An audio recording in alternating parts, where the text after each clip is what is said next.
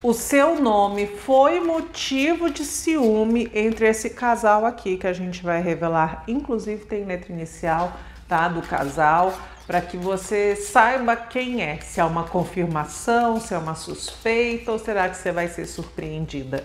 Enquanto a gente embaralha, você está no Claro Evidência Online. É importante que você se alinhe em frequência conosco, decretando nos comentários. Deus faça o seu milagre em minha vida. Eu creio em seu poder. Eita, Deus, faça o seu milagre em minha vida. Eu creio em seu poder. Ih, não quero ver nem choro nem vela, porque é motivo de, de ciúme agora, mas as coisas lá não estão legal não, tá? Ixi, ixi Maria. Há uma energia tensa aqui, pesada, rondando esse casal, tá? E o motivo dessa tensão é justamente um dos motivos, tá? É você. Seu nome foi citado em uma conversa e isso despertou ciúmes intensos. Um deles não conseguiu disfarçar o incômodo ao perceber que a outra pessoa ainda nutre algum tipo de sentimento por você ou predileção em algo ou pelo menos há uma admiração não resolvida. Esse sentimento foi exposto em uma situação aparentemente trivial, mas que acabou revelando muito sobre o que ainda existe entre você e essa pessoa, mesmo que seja no pensamento. E olha, a ira foi. Foi por quê, meu amigo e minha amiga? A relação desse casal já estava, já estava fragilizada e o seu nome veio à tona como uma faísca que acendeu ainda mais essa chama de insegurança. Pode ser que essa pessoa tenha mencionado você de forma inocente até, sem intenção de causar essa discórdia, mas o parceiro ou parceira percebeu algo a mais no tom de voz e é aquela quem procura, acha. Quem quer encontrar motivo, pode ter certeza, qualquer A vira Francisco.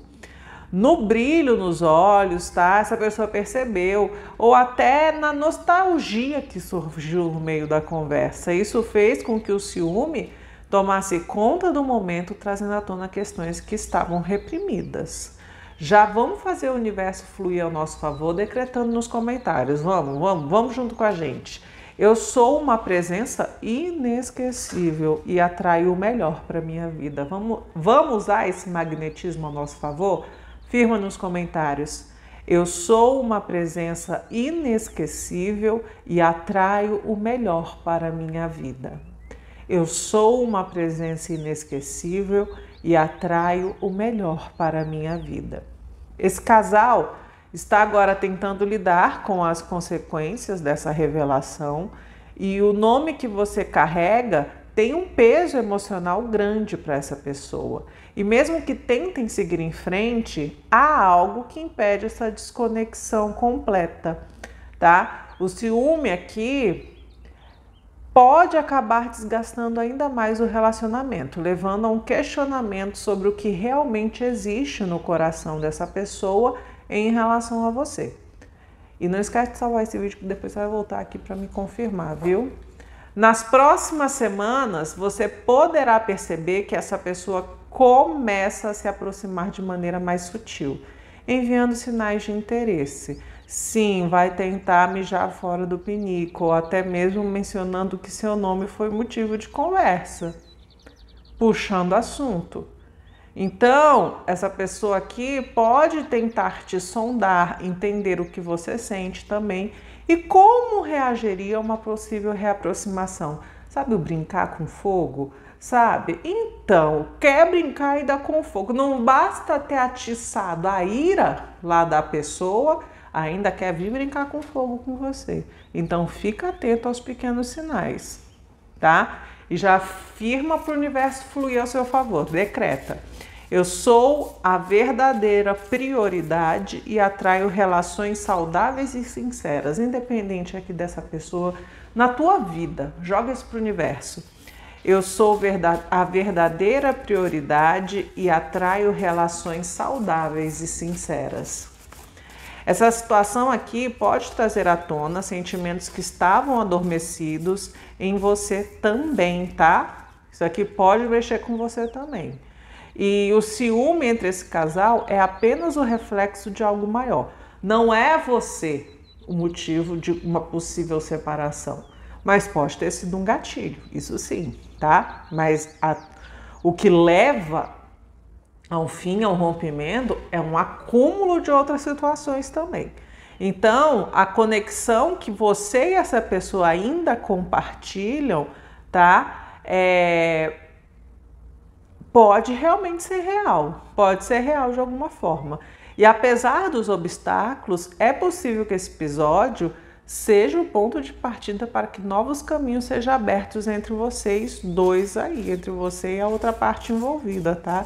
Então esteja preparado porque uma mudança significativa pode acontecer aí em breve. Grandes emoções sim podem vir a ocorrer, ok? Porque eu vejo que esse casal não se sustenta mais por muito tempo. Letra, não só você também tá vendo aqui, né? Tá nítido para você. A gente tem a serpente, a foice, o urso, a torre, o caixão, as nuvens, o rato. Os segredos vêm à tona. Com os livros. Letra, letra, meu amigo e minha amiga desse casal aqui, as iniciais do casal. Vem com a gente. Nós temos um I H R G O Igor. Nossa, Igor. Babado, hein? O Hugo, Hugo também. Nossa! Seis letrinhas do poder aqui, hein? Que babado. G N e S, tô passada. Passada estou. Agora escuta com atenção. Quando você compartilha algo positivo, você está plantando uma semente de gratidão no universo, tá? Saiba que você não só está ajudando o nosso trabalho a crescer, mas também abrindo portas para que mais bênçãos voltem até você.